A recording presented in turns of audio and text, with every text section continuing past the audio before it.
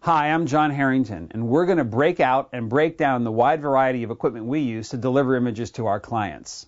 Next, we're going to show you one of the equipment kits we use when we're traveling on assignment. Each kit is different and serves a very specific purpose, so let's take a look.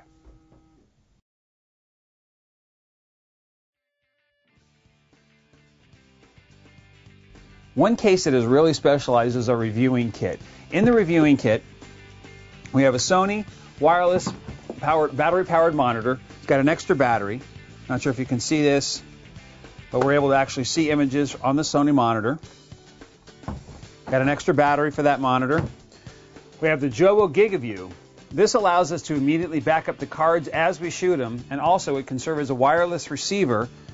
We're using this wireless card, this 802.11b wireless card, when we're shooting with the Canon or Nikon wireless adapters. Those Canon and Nikon wireless adapters also in here. Here's the wireless adapter for the Canon and the charger for the, the battery that goes in it.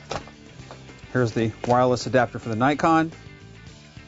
We can also shoot tethered. This is the tethered cord for the new Nikon D3. This is a tethered cord for the Canon 1DS Mark II.